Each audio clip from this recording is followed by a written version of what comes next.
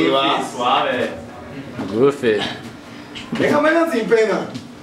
Si no hacemos todo esto, no nos vamos para el agua.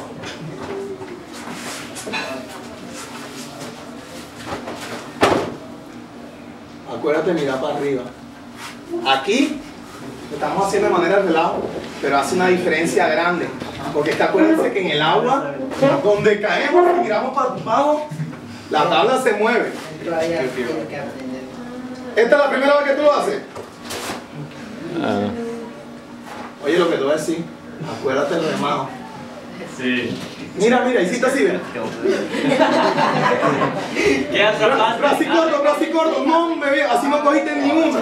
Ahí lo que cogiste fue revolcón. Acuérdense, y parece relajo, pero largo. Los dedos cerrados. Si dejamos los dedos abiertos, se pasa el agua. Que pase el brazo cerca de la tabla. Techo arriba y todo el camino hasta donde esté el brazo. Porque eso es lo que hace que bajamos la ola. Una vez más.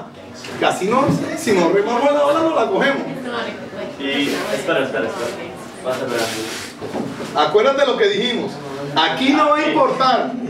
Pero en el agua, ey, esta es de la vaina más importante.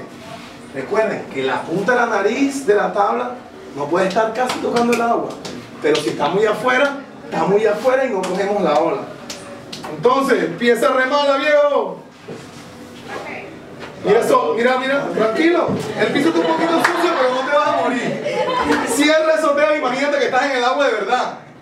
Dedos cerrados y rema duro. Mira, cerrado los dedos. Estás haciendo así.